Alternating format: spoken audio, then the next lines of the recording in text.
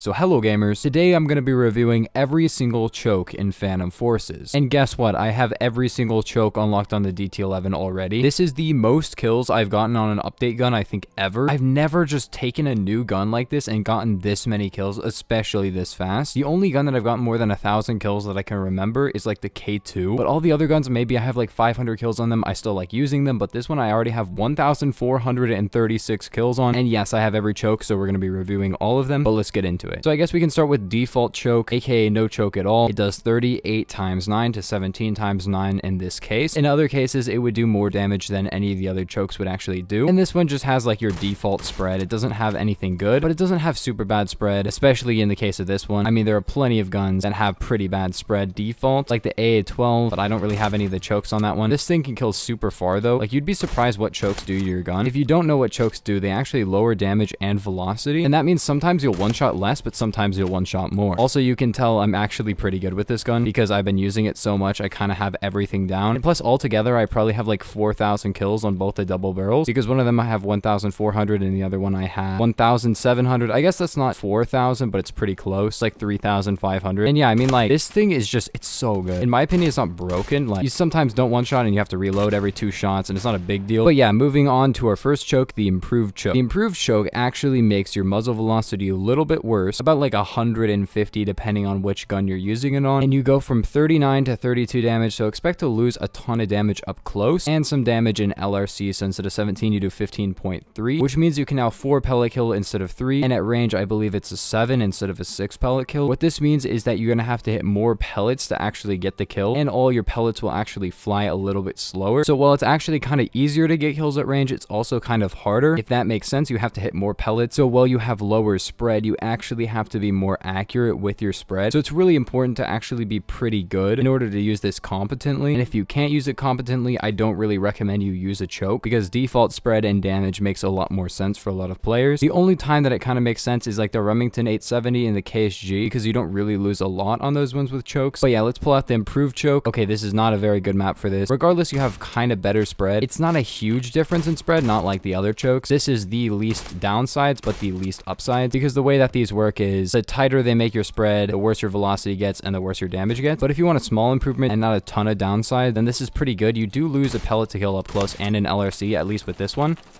Oh, I forgot I have the boxy bust. Okay, I got a 75. That's nice. Regardless, as you can see, I'm killing pretty far, but I'm not one-tapping completely unless I'm super accurate. So while my spread is better, doesn't mean I'm going to necessarily one-shot more, just objectively more. I might one-shot more if I'm more accurate, but it really does require a little bit more skill, but it's still kind of an upgrade to your spread. So it's interesting. The chokes in this game are just like, they really worked hard to make them balanced, and I like that, but I just don't feel like they should have added them at all. Because the thing is, people complain so much about the shotguns. It's like, wow, they're actually going to add, wow, that was good. They're just going to add an attachment that makes the spread better, people are going to complain. I mean, like, I am kind of going off right now. Come on, yes. Okay, quad, multi, multi, multi. No. Next, you have combat barrel. Yes, this is technically not a choke, but it does change your spread. And I really wanted to use this because I may as well, since I'm reviewing all the chokes, review the combat barrel and the short barrel as well. So the combat barrel reduces your damage ranges, but increases your max a little bit, but only by 1.5 studs, which is not a big deal. It also makes your spread a lot worse and your muzzle velocity as low as what it would be with the first choke. However, However, it does make your reload time faster. And this is the reason that you should probably use this if you're up close. Now, it doesn't change your reload speed by a ton, a ton, but it look,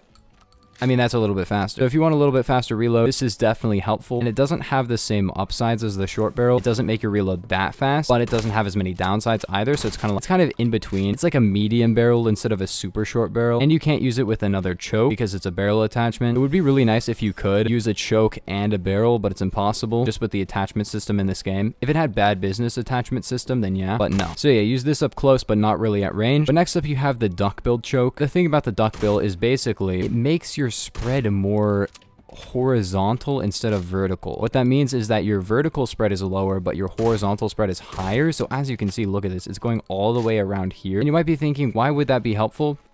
And there really is no reason. The thing about players in literally any game, here's the thing, a player is tall and not wide. So if it did the opposite, where your horizontal spread was really good, but your vertical spread was bad, then it would be good. But with this, it's not really helpful. The only time it might be helpful is if you just can't hit your shots. But the thing is, it's like, it still lowers your damage and velocity. And it's a shotgun, it's not really that hard to hit your shots. Maybe it might be helpful in like an AA-12, because then you can just spray until you kill a guy. But you will just one tap less, and you'll take longer to kill every single player. So is it really worth it? In my opinion, no. And I'm pretty sure it reduces damage and muzzle velocity anyways. I don't think that was necessary. In fact, I think it should probably increase your muzzle velocity or something because there's really not enough upsides for this to be viable at all. If I was shooting a guy normally, I would have been able to hit at least one hit marker with this. The only time this might be helpful is if there's a bunch of people in a row or something, but that's never going to happen. But then you have the modified choke. This is basically like the improved choke, but more upsides and less downsides. In this case, it lowers your velocity to 1,360 and your damage to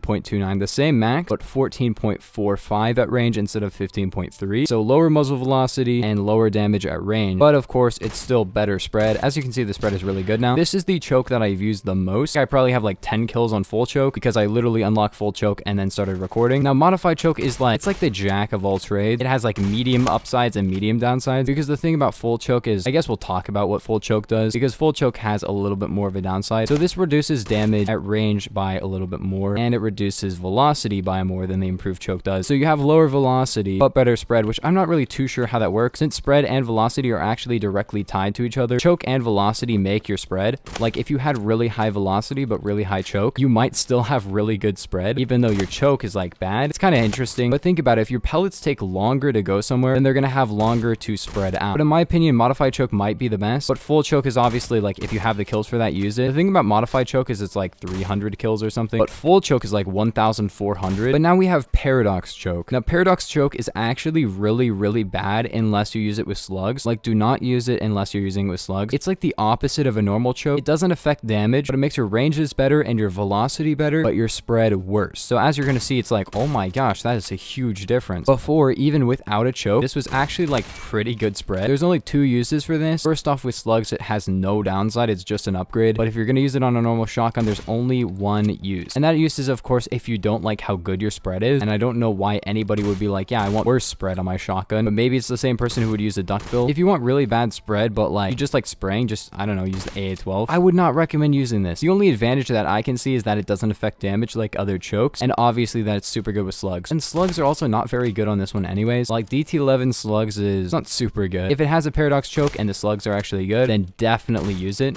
But now we have the diverter. This is like a duckbill but worse, but it's also like a duckbill but better. Instead of making your horizontal spread a lot worse but not super worse, it makes your horizontal spread super worse. And yeah, I mean like look at that. It's so bad. I guess this might be helpful with like birdshot. I don't know why they added these. A nice advantage of the diverter over the duckbill is that it has more spread than the normal one, which I guess is kind of nice. And also it reduces your velocity by less than the duckbill does and doesn't reduce your damage, which is pretty nice. I'll give it that. It actually might be better than the duckbill. But let's be real, the only advantage, quote unquote, on the duckbill is kind of just a disadvantage. And this has the bigger disadvantage, so maybe it might be worse anyways. Like its niche is better, but its niche sucks. It's just a bad niche. Again, I don't know why they added this. I guess it's just funny for a meme. If somebody asks you for a best setup on a shotgun, please give them diverter so they pre-buy and just never get a kill again. Because this is simply objectively worse. Like it just won't kill as much. Hey, we're going quad barrel shotgun mode. No hits, no hits, nice. Three shots, one hit marker. Literally, if I wasn't using the choke at all, it would have killed more. Like, yeah, it can still kill people, but I have 1500 kills on this gun, so please trust me when I say this is just killing less. Like, I don't have to be as accurate, I guess. Maybe that's the reason. It's just like, oh, yes, I can just be less accurate. But I mean, it's a shotgun. It doesn't really matter. It's already pretty not accurate. But then next we have short barrel, which if you don't want very good spread, then this is the perfect option for you because not only does it not have the annoying horizontal spread line, it also has the fastest reload you've ever seen. Like for two shots even, that's so fast. I'm not sure how fast the reload actually actually is because you can't check, or you just can't see the reload time when you change it. It highlights in yellow and it doesn't tell you. I believe I said that in Tips and Tricks Part 1. I'll put that in the top right. Anyway, but yeah, short barrel DT11, it has that spread. But, I mean, look at this.